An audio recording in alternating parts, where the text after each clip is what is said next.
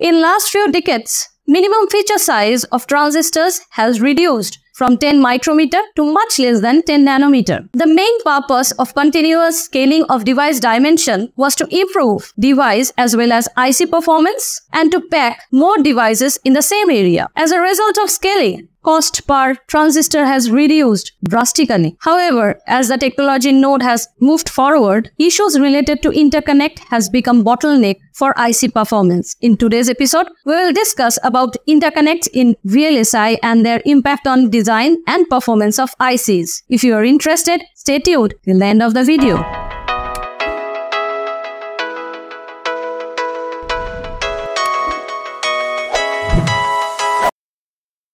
Now let's move to the pointers we will cover in this episode. First, basic of VLSI interconnects. Next, VLSI interconnect, local and global. Third, desirable or expected VLSI interconnect. Next, real or fabricated VLSI interconnect. Then, interconnect parasitics in VLSI, back end of line or BEOL. Resistance and reliability, capacitance and reliability, inductance and reliability, and finally, impact of scaling. So, let's move to the first slide. Basic of VLSI interconnects.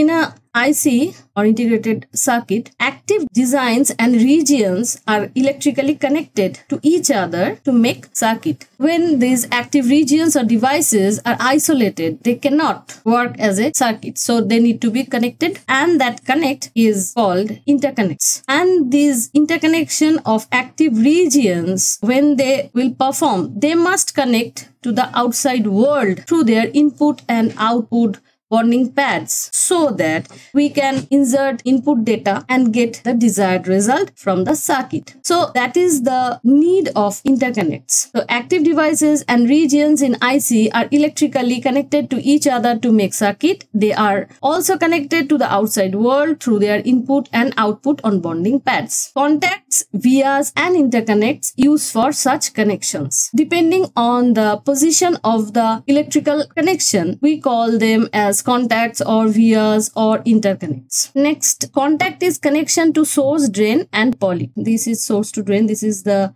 channel region and this is the contact to the active region. This is the gate region. When the contacts or the electrical connections are directly to the active region like source, drain or poly. We call this contact. Next, via. As we can see in this diagram, this is via connections between interconnect levels. This is the metal 1 level, this is metal 2 level. As the technology has progressed, there's number of metal layer has increased. Complexity of design has increased. Complexity of connection has increased. So, metal layers has also increased. Between interconnect levels, the connection is called via and interconnects are separated from each other by dielectric layers. So these are not actually in the vacuum. This area, this area are oxide are there. Dielectric layers separating global interconnect levels are called IMD or intermetal dielectric or ILD or interlevel dielectrics. These are basically the nomenclature of dielectric layer to separate it from the gate level. Next, vias connect interconnects through these layers. Obviously, as we can see, these are perpendicularly. Metal is uh, running from left to right or any in lateral direction and vias are perpendicular to it. These components are part of metallization or backend or BEOL. We will elaborate this point. It's very important point that BEOL, when chip is fabricated, first the active regions are fabricated, then these, these local, these are local connects, these are local connections are made, and then after that last come this metallization process. Fabrication of device is known as the FEOL, front end of line. These all metal interconnects making is called back end of line. Chip surface doesn't have enough space for all connections, so vertical interconnects are built. Active regions are laterally fabricated on the chip surface, so on that these connections are built. Number of metal layers increases with IC complexity. Technology is progressing. Device numbers are increasing because we want to realize more complex functionality and number of metal layer also increasing accordingly. Aluminium interconnects were used as the standard for long time in chip making and it's uh, sometimes still it's used. In the late 90s, chip makers switched to CU because it conducts electricity better than aluminium. CU interconnects improved IC performance and can match transistor scaling. This whole fabrication method and nodes that's followed Moore's law in last few decades to increase the number of transistor in the same area, device dimension have been scaled. So when device dimension is scaled, obviously these via disconnects these also have to be scaled otherwise it will be a kind of this kind of structure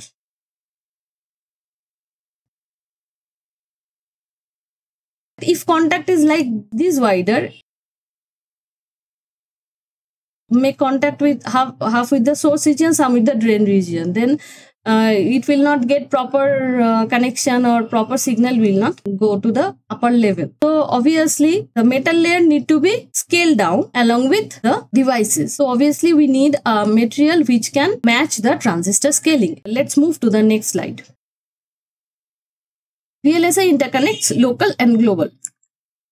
This is the diagram. Well, there are two types of interconnects. Depending on their position, we call it local and global. Look at this diagram. It will help you to understand. This is the silicon layer.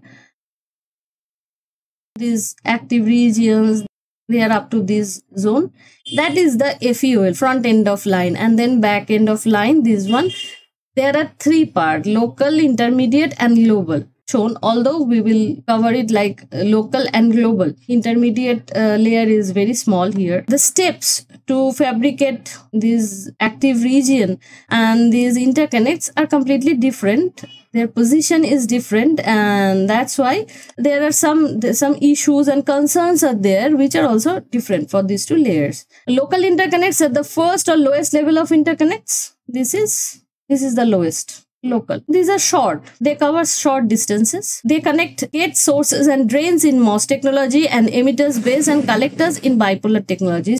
Local interconnects are small and short. Polysilicon, silicide, titanium nitride, tungsten can act as local interconnects. There are many choices for interconnect material. The reason behind is that, that local interconnects can afford to have higher resistivity since they do not travel very long distances, but they must also be able to withstand higher processing temperature. Now, there are two very crucial points. Local interconnects, as we said, they're very small and they run for short distances. If resistivity of a wire is higher, heating can happen. Longer the um, length of the wire, and higher resistive material, then obviously it will resist current more. For local interconnects, we must choose a material which can withstand higher processing temperature. Temperature handling capability of that material with which we are manufacturing these local interconnects is higher, then it can handle higher temperature of fabrication of this process or this area. While we are fabricating all these steps, these metal layers, if metal layer or interconnect layer here here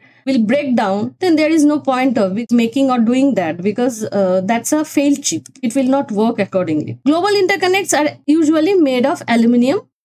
They are above local interconnects. Obviously, physically we can see they are above local interconnect level. Global interconnects are thick, long and widely spaced. They often travel over large distances between different devices, different parts of the circuit and therefore they always they are always metal with lower resistivity. They run longer distances from one corner to other corner. So if resistivity is higher, that resistivity of the material will resist the current and also heating will be there. So let's move to the next slide.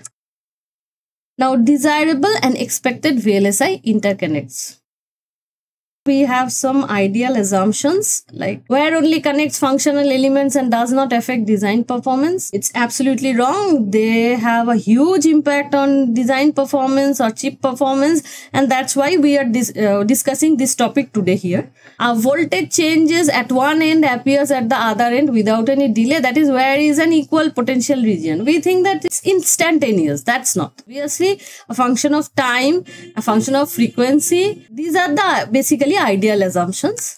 In reality, it doesn't happen. There are a list of desirable properties of interconnects.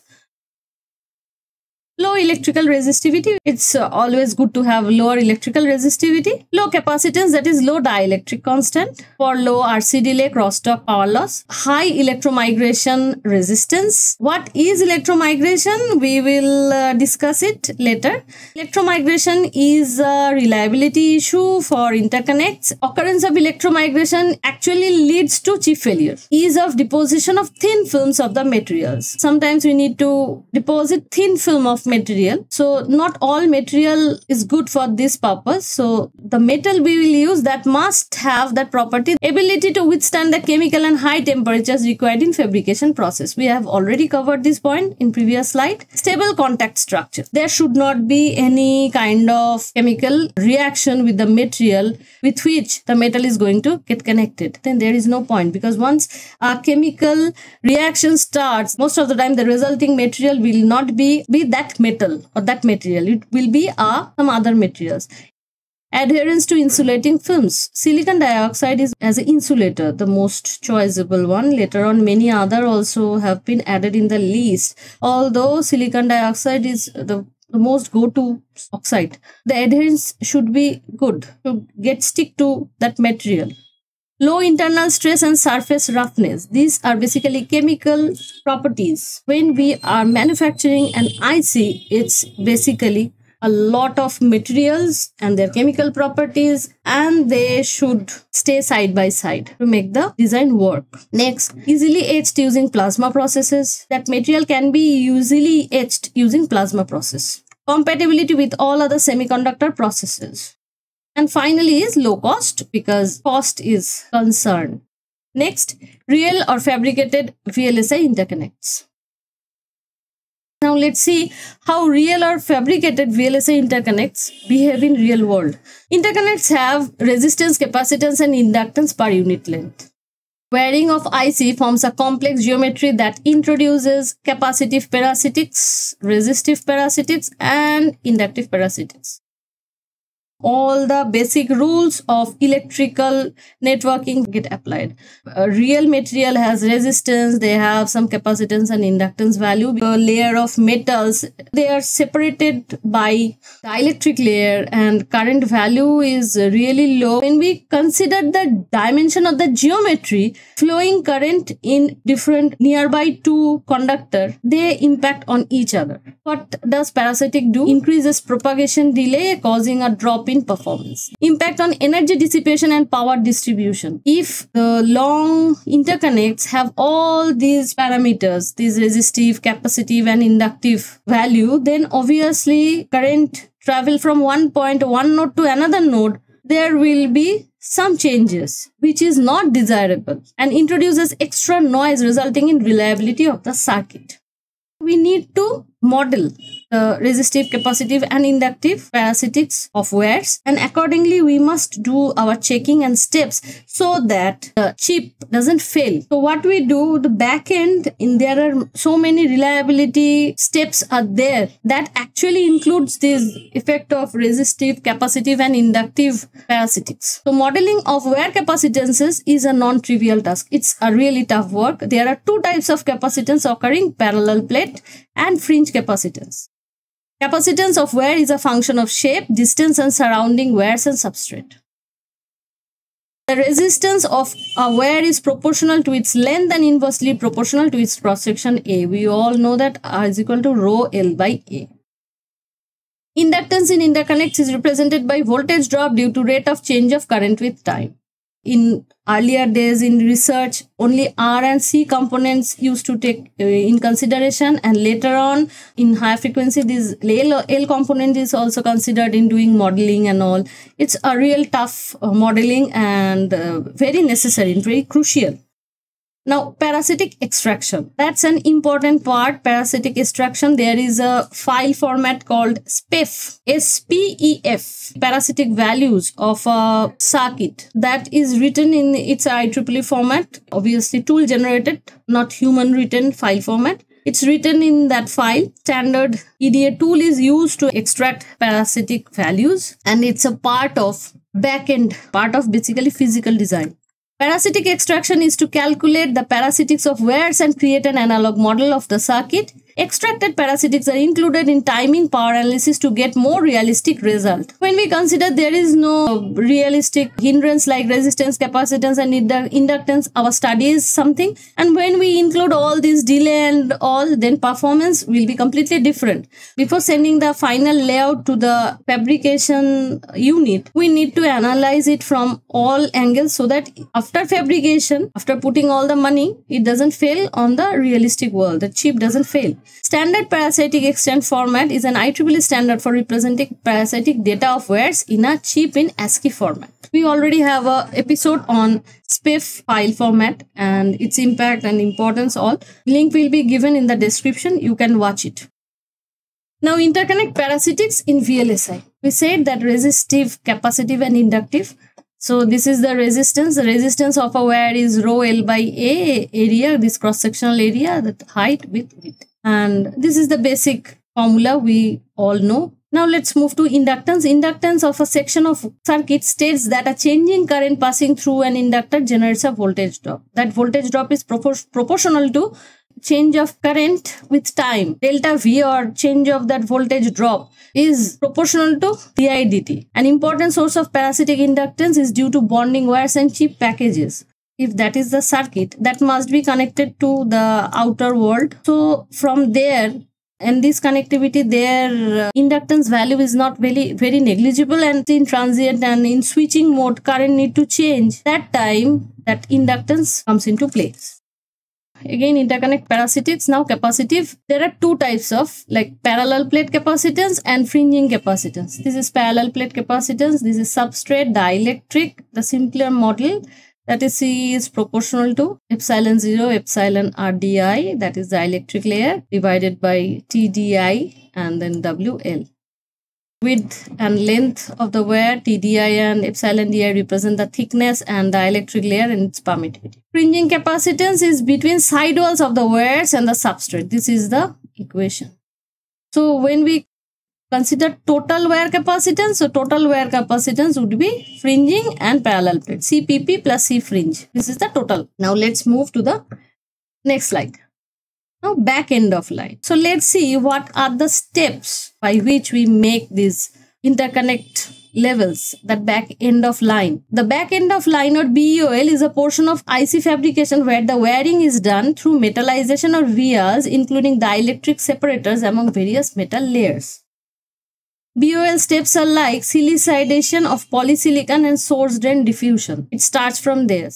Then adding a pre-metal dielectric or CMP processing it. It's a step. Make holes in PMD pre-metal dielectric and create contact through it. A pre-metal dielectric is fabricated and then a hole is made through it and contact is done through it. Then add metal layer 1. First metal layer is fabricated. Then add dielectric layer that is intermetal dielectric. One metal layer is fabricated. Now intermetal dielectric is done.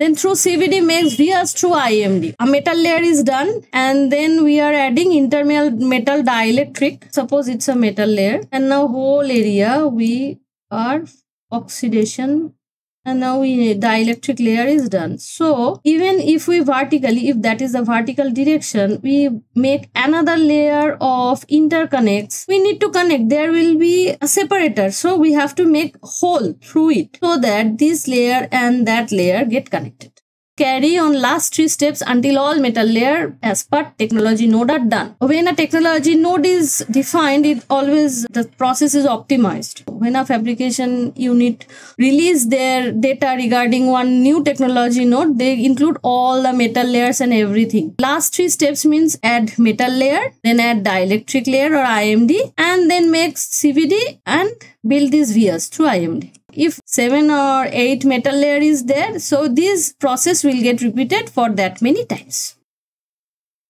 then add final passivation layer to protect the chip from weather and outer world now BEOL corners, that a very important part. What are BEOL corners? Back end of line corners. It's part of RC corners or PVT corners, process voltage temperature corners. We have detailed video and articles on that. So link will be given in the description. I'm going to tell here in short parameters of a semiconductor fabrication are generally statistically distributed. because it's it's not an ideal process it's a real world not all two devices have all the properties same some variation occurs in length width oxide thickness and all since in a wafer ICs we fabricate, they are not identical. We must judge their merit within a range of data, not a particular one data. Because when a device is very small in dimension, half of nanometer is even crucial factor. For a batch of uh, ICs, we define basically a range of values. And these are some corners like this extreme values. Some value comes from BEOL steps also. These are basically C worst, C best, CC worst, RC best, RC worst.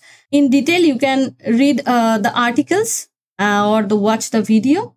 So let's move to the next slide. The impact of parasitics. Now resistance and reliability. Electromigration. In operating condition, a chip may go above 100 degrees Celsius during practical operation. High frequency power loss and consequent heat dissipation contributes in increased temperature. Since the interconnects have resistive properties, so heat dissipation is always there. Continuously, the temperature of the chip increases and rise in temperature enhances solid state metal ion diffusion. It's basically material level performance. So electromigration is caused by scattering of moving electrons with the ions that is by momentum transfer between electrons and ions in metal interconnects. While in operation chip temperature increases uh, depending on how long it's uh, open to that situation the moving electrons within the interconnects they scatter the ions or the metal molecules. So momentum transfer happen between electrons and ions in metal interconnects and this ion electron interaction is sometimes referred to as electron wind. This causes the wire to break or to short circuit to another wire. Such situation create void in interconnects that can lead to open circuit. If ions from this zone is moved, either there will be a void and if it's moving, moving to and getting to another wire, so it's basically doing the short between these two. In both the cases, the electron flow or the current flow will not be in the desired direction and chip will fail. EM is one of the most menacing and persistent threat to interconnect reliability. So these are some pictures. As you can see, there is a void in. The electron is traveling and mm, you can see this zone, right? Metal layer has if it's go a little bit more it will touch it. And there will be a short. There is no point. This black dark area is basically in intermetal dielectric but this electro migration process is doing that. Look it's connecting so here it's creating an open circuit here it's almost going to make a short circuit. So in both the cases the chip will fail. And we have three episodes on electromigration link provided in description. Now ohmic voltage drop Current flowing through a real wire results in an ohmic voltage drop that degrades the signal levels. It's a real wire. So ohmic voltage drop will be there and degrades the signal level. Chips are basically operated at lower voltage level. Even from that, if some voltage get dropped at the interconnects, at the destination, the voltage level degraded. If it drops below the driving current of a system at the destination, the device will not perform accordingly. Suppose there is a, a signal is traveling a longer path from here to here. This is a block, that is a block here block 1 and that is block 2. So if this length is longer enough and voltage drop is enough, when the voltage, eh, the signal travels from here to there, there will be a significant amount of voltage loss. And if it very higher, then sometimes it may happen that the reaching voltage signal just fall below the switching value of components here present here. So desirable performance we are not going to get there. The affected value of voltage reduces noise margin and changes the logic level as function of the distance from supply terminals. As the distance changes how much voltage is getting dropped there the voltage margin level gets changed and that change all the thing. IR drops on supply network also impact the performance of the system.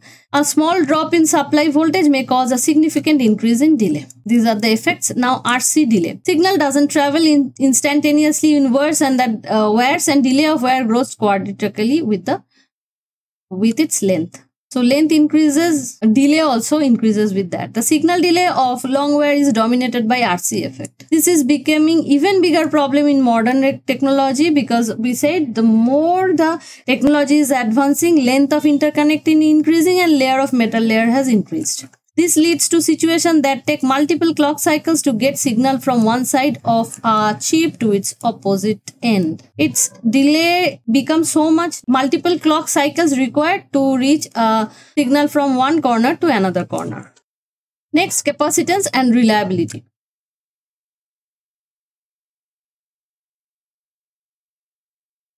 In real world of IC, each wire is coupled to both grounded substrate and also to the neighboring wires on some layer and on adjacent layers. Through via the layer of interconnects are connected to each other. It's not completely isolated. So some capacitive components connect to other wires with dynamically varying voltage. Capacitive components, they are connected to other wires where the voltage level changes. So effect of that change have some impact on the capacitive components also and such variable or floating capacitor causes crosstalk and a negative effect to the circuit. This varying capacitance value have a deep impact on the circuit performance. Delay in the signal transmission through wire is proportional to the capacitance charged. And more capacitance means more dynamic power. Coupling capacitance is an increasing source of noise and make delay estimation hard. This coupling capacitance it's an increasing source of noise and makes delay estimation really hard. In a practical situation, a wire is surrounded by wires from other sides and in between dielectric layers. So, so many parallel plate capacitors in all sides and they all are within uh, ambience of IMD. When we take the whole picture, it's a very complex model. Even if all the capacitance have smaller contribution, the overall contribution and even with changing voltage, switching effect is happening, voltage level is changing because we are not designing a system for uh, keeping it idle. It will work. Voltage will, uh, voltage level will go up and down accordingly our design when the total picture is there, it's a tough thing to calculate. What are the steps we can take to reduce interconnect capacitance? Use of low K dielectric which reduces permittivity and, and hence capacitance.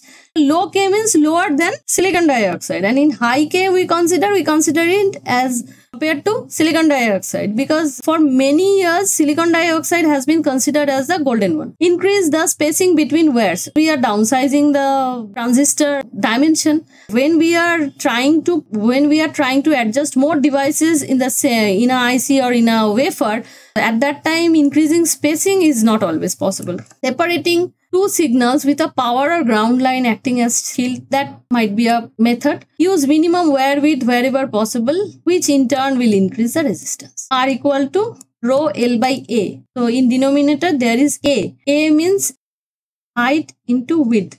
So if width they are decreasing so r value will be increased and then the ohmic effects will be higher. So we have to choose uh, between these two. It's a trade-off. Now let's move to the next slide now crosstalk. It occurs due to unwanted coupling from neighboring signal wire to a network node. The resulting disturbance acts as noise source. It's not desired. Here unwanted voltage interference it's basically noise. Capacitive crosstalk is the dominant effect at current switching speed. Potential impact of capacitive crosstalk is influenced by impedance of the line under examination. The design functionality and its performance can be limited by noise. The noise impact can limit the frequency of operation of design and it uh, can cause functional failures. Crosstalk may lead to setup or hold violation. Setup or hold violation basically two major timing violation taken care in backend timing. Then propagation delay. Capacitive crosstalk may result in data dependent variation of propagation delay. Coupling capacitance is a large function of overall capacitance in the dense wire structure of advanced technology node. This increase in capacitance is substantial and has a major impact on propagation delay of the circuit. Inductance and reliability.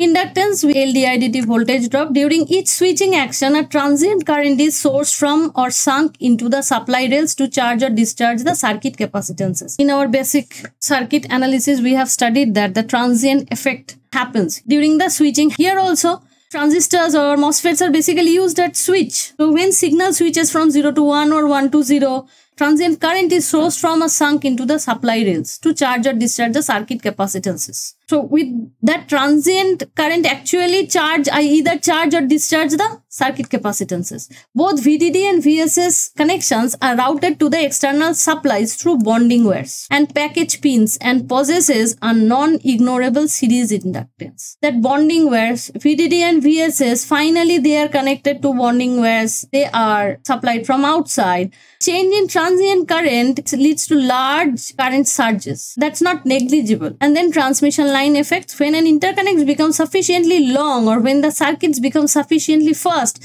the inductance of wire starts to dominate delay behavior and transmission line effects become significant so actually the change of current rate of change of current that is getting resisted by the parasitics and that that is become very crucial when the wire becomes sufficiently long so if long it takes a longer time so effect will be more now, impact of scaling. Scaling is basically downsizing the device dimension. We have followed Moore's law and uh, downsized the device dimension or MOSFET dimension and packed more devices into the same area. But that has impact on interconnects also. Here we will, in this slide, we will discuss that. Dimension of interconnect scale down by a factor calling scaling factor. It's not abruptly changed it's changed with a factor that is called scaling factor S. And this scaling factor is an integer.